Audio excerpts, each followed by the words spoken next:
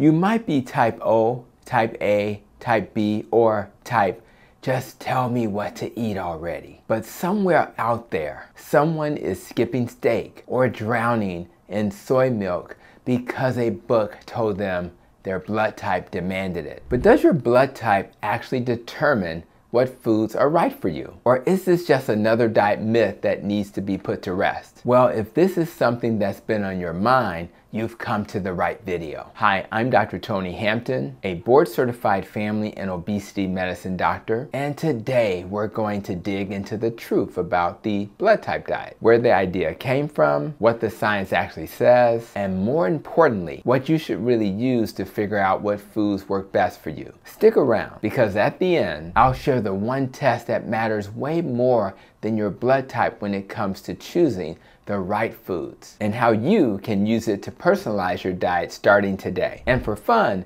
drop in the comments what your blood type is. Let's see which blood type is the most common who's watching this video. Let's start with a little history lesson. The blood type diet was introduced by Dr. Peter D. Adamo in the late 1990s in his best-selling book, Eat Right for Your Type. The theory? Your ABO blood type determines how you respond to certain lectins, which are proteins found in foods that can supposedly cause inflammation if they clash with your blood antigens. So type O was told to eat like a caveman, high protein, no grains. Type A, they were meant to be vegetarians. Type B, you got the dairy pass. Type AB, well, you were complicated. The idea felt personalized, scientific, and even ancestral. But did anyone actually test this theory? Let's cut through the hype and look at the data. In 2013, researchers at the University of Toronto did a deep dive. They studied whether people following blood type diets actually saw health improvements based on their blood type. Result? No correlation. People improved their health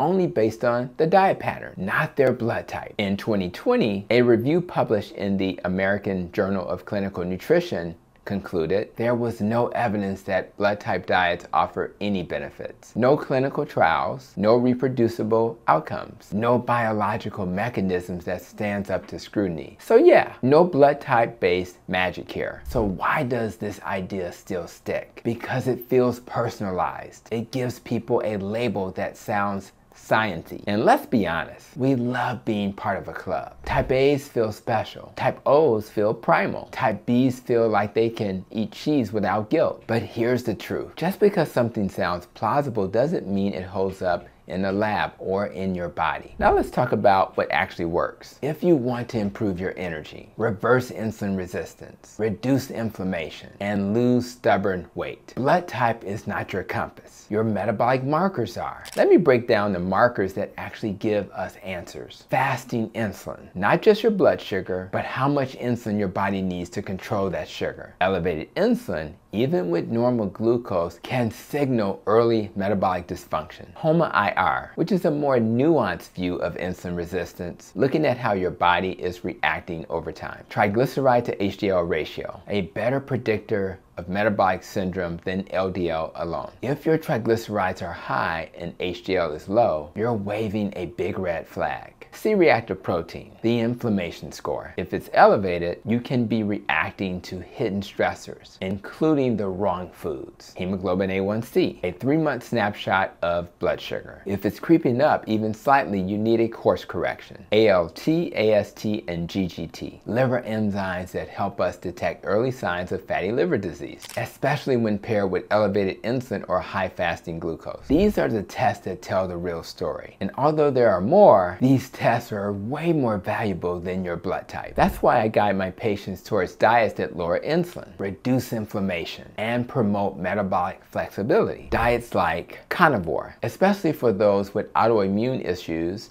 mental health concerns, or histamine sensitivity. It removes nearly all common inflammatory triggers and often resets the gut. Ketogenic or low carb, diets that are proven to improve insulin resistance, reduce hunger hormones like ghrelin, and increase satiety hormones like leptin. Paleo or animal-based, for people who want to include select plants while keeping blood sugar stable. Each of these has clinical research behind them. Each focuses on real outcomes, better labs, better energy, better function. And what's the real test? How you feel. Are you less bloated? Are your labs improving? Are your cravings gone? Are you thinking clearer? If yes, that is the body giving you a standing ovation. Now, to be fair, some people try blood type diet and feel better, but often that's because they've removed ultra processed foods, not because of their blood type. If your type A plan told you to dish soda, grains, and fried food, sure, you'll feel better, but you did need your blood type to tell you that. So if you've been doing the blood type diet and it's working, keep going. But don't expect magic just because you're following a theory